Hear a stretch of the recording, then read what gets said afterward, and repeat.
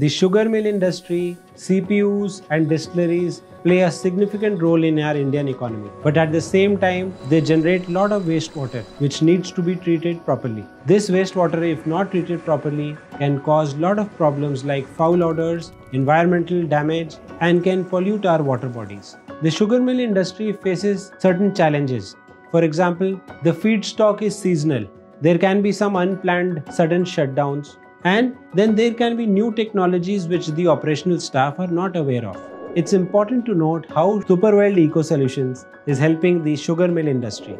We have our own microbial strains custom made for the sugar industry, which can enhance the biogas production and can help the plants face unplanned shutdowns. Our microbial population stays stable and we provide the optimum nutrition which is required for proper wastewater digestion. We provide microbial cultures like our Super CH4, Super 24, Oxy Super, Nano Urea, Nano DAP, Super Nutrients. All these products can firstly improve the biogas production, improve the COD reduction. We can have a well performing MLSS in the aeration tank.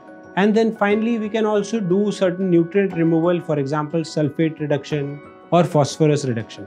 Our technologies like nano aeration, nano ozonation also helps sugar mills treat their wastewater efficiently.